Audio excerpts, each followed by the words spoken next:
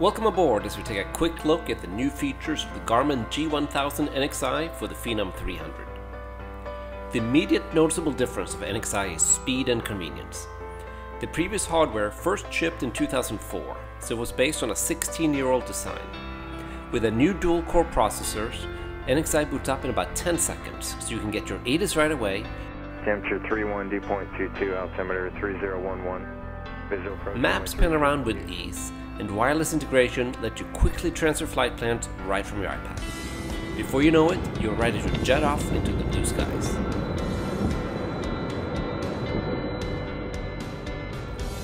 The layout is similar to G1000, but NXI offers a clean, modern look inspired by the G3000. The fonts are bolder and smoother, and design elements have more gradients and depth. One new feature is the moving map inside the HSI, which can overlay traffic, XM weather, and radar.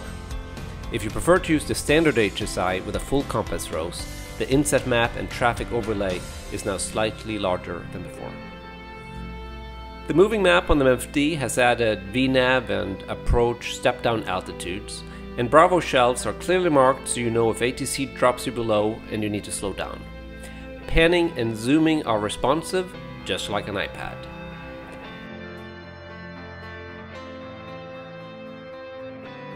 New for NXI are electronic versions of FAA's VFR and IFR charts.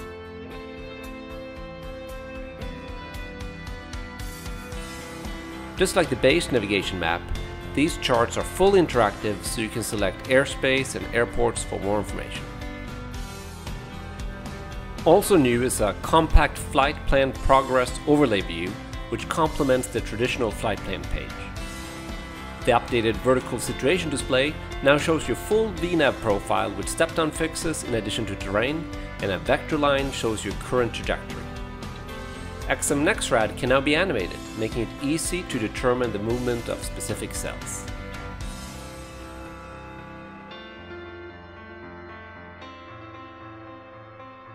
Previously only on G3000 planes, another new feature to NXI on the Phenom 300 is Surface Watch. While taxiing, Surface Watch will show you the taxiway you're on and any approaching intersections. For takeoffs, it will show you the runway distance remaining, and on approach, it will show you the runway you're approaching and the distance remaining. And during the landing phase, it will show you the runway distance remaining.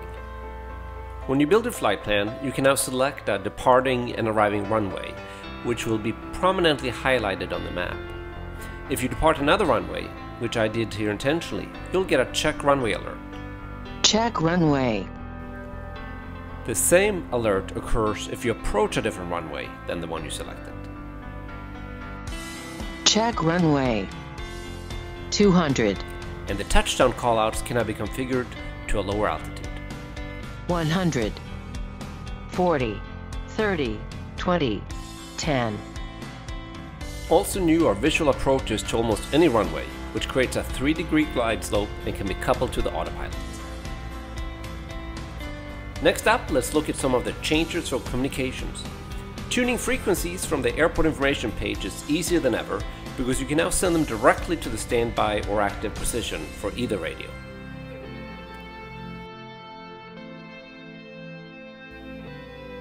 Frequencies are now auto-decoded so you can easily see who you're talking to and avoid the forgot to make the flip mistake.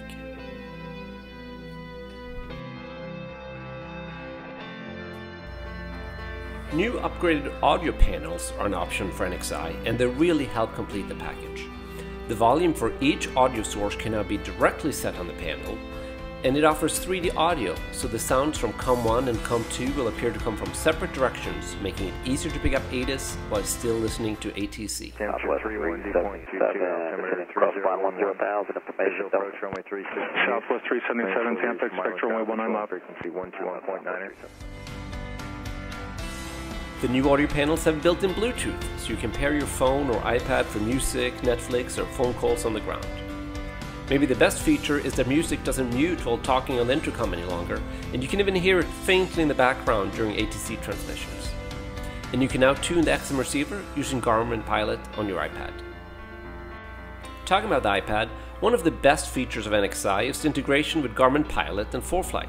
I file using ForeFlight, and here's a flight plan from PIE to IXD with multiple waypoints and an arrival. With two taps on the iPad, the flight plan is transferred into NXI. And NXI talks back to the iPad, providing GPS and attitude information. With Garmin Pilot, you can even get XM weather shared from your plane's receiver. And if you have the Iridium system installed, you can now text and make phone calls using your phone instead of using that awkward alphabetical keyboard. Nav databases are faster too. You can either update using Garmin Pilot or by using an SD card. Databases are only loaded into the MFD and are then automatically distributed to the panels. Maintenance logs are also readily available and can be exported for upload to AHEAD or your Embraer's contact center. Lastly, another optional upgrade is the new GWX75 weather radar. The GWX75 is an all-digital radar that ditches the legacy magnetron found in the current GWX68. It's instantly ready, no wait up time needed, and the new technology allows for high definition intensity colors, 16 instead of just 4, as well as turbulence detection and ground clutter suppression as optional features.